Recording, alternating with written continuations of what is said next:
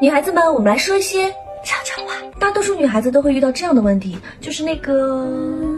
你们都懂的，因为压力大、作息不规律，女孩子的某某部位都会有一些火火症、不舒服什么的。很多小女孩遇到这个情况，都会不敢说出来，自己一个人默默挺着，导致啊越来越严重。其实这真的没什么，我们就是应该从内而外的爱护自己，千万不要因为这种事儿难以启齿，讳疾忌医。作为姐姐，今天我就跟大家讲讲怎么应对这些问题。如果你已经开始有这些困扰了，千万不要等了，赶紧去看白大褂，别把自己的身体拖坏了。但是如果你还没有出现这些问题，我们也是可以预防起来的。比如说一贴。身衣物的卫生千万不能跟其他的东西混在一起洗，特别容易菌菌传播。二，还有就是不要长时间垫那个小护垫，容易滋生菌菌。三，少穿紧身裤，因为紧紧的包裹住身体，长时间穿下来，容易形成高温潮湿的环境，容易滋生菌菌，最后引起花园小问题。还有作息跟饮食也非常重要，熬夜跟作息不规律都会引起我们花园 pH 值失衡，抵抗力下降。饮食也要合理搭配，还可以额外补充一些对我们女生很好的益生菌。最后大家记得不要久坐，一定要起来走动走动，姐妹们，保护好我们的身体很重要，千万不要因为那些小羞涩、小害羞